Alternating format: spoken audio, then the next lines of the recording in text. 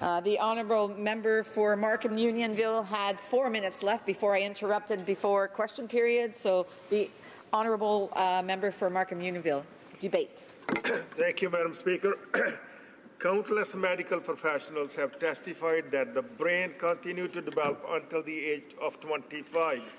According to the Canadian Medical Association, increased use of marijuana before the age of 25 increases one's risk of developing mental disorder such as schizophrenia, depression, and anxiety by up to 30% compared to those who have not used marijuana under the age of 25. The government cannot go through with this. Is this what we want for our children? I have said this before, but I have to say this again. This is the most certainly not what I want for my children. This is not what I want for my constituents. And this is not what I want for Canadians.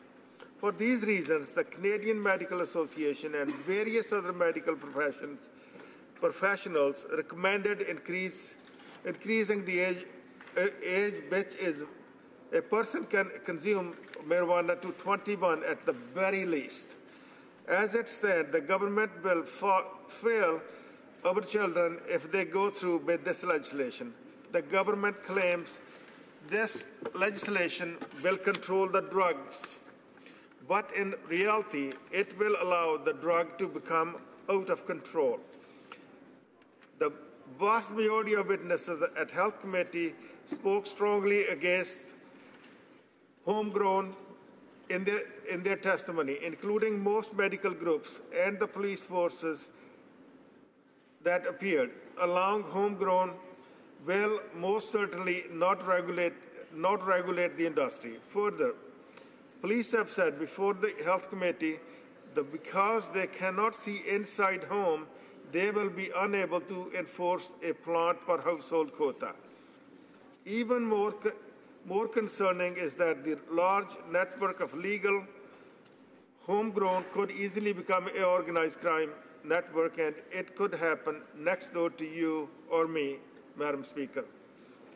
Canadian families expect safe and healthy communities in which to raise their children. We are parliamentarian, we are representative of our constituents, and we need to ensure that all voices are heard people are concerned about this drug. We, as an elected official, can and should provide guidance on this drug to reflect the view of all Canadians. When it comes to health and safety, Canadians deserve the best. This legislation is not what is the best for Canadians. Now, there are only 218 days to go until the arbitrary date of July 1st, 2018. Let me be clear. Let us not rush through this legislation. We need to do what is right for Canadians. The provinces, the municipalities, and the police forces are not ready to implement this legislation. I cannot support, support Bill C-45. Thank you, Madam Speaker. Questions and comments? The Honourable Parliamentary Secretary, the Government House Leader. Uh, Madam Speaker, you know, consistently the Conservatives, when they stand up, talk about a problem if the bill actually passes. What they fail to recognize is that the problem is there today. We have a serious problem with uh, cannabis and marijuana consumption uh, in our youth. It is recognized as uh, one of the highest in the world in terms of usage.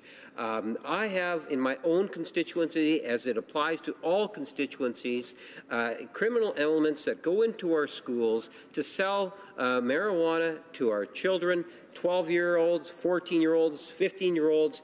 We finally have a government that's taken a proactive approach at dealing uh, with the uh, issue. We have a government that made a commitment in the last election to do exactly what it is that it's, uh, that it's doing uh, today. It's a part of the election platform. We're stepping forward and trying to resolve some very complicated issues. And my question to the member across the way is, would he, would he not, or would the Conservatives not recognize that the status quo is just not worked the numbers and the what's happening to our young people in our schools today. I do have to allow for other questions. Uh, The honourable member for Markham Unionville. Thank you, Madam Speaker. Yes, there is a problem. There is a huge problem. What, Madam Speaker, they are going to make it worse. This is the main concern. The, the law enforcement, the police officers, the medical, medical uh, associations, everyone spoke against it. For example, the marijuana available in their home when they're allowing the plants to grow in their homes, and every street corner is available. You go to shop Shopper Drug Mart is available. So, so this thing making it worse, uh, the overall situation. Yes, there is a problem, but you're making it worse down the road.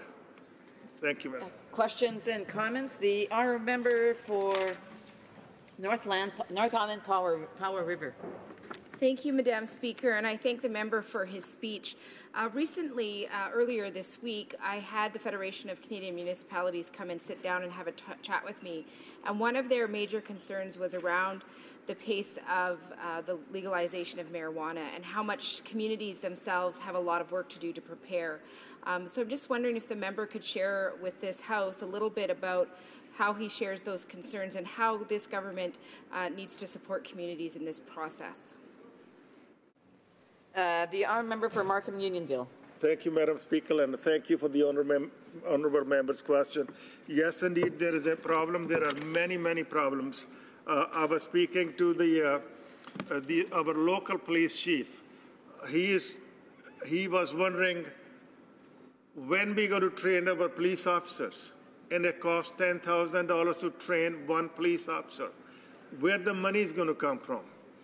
what happened when the kids go to the schools stoned, eating the wrong brownies from the kitchen. Uh, all those questions, all those concerns, they are not taken. Uh, uh, the, the whole process is not well thought through by this Liberal government. And there is no rush. Please take your time.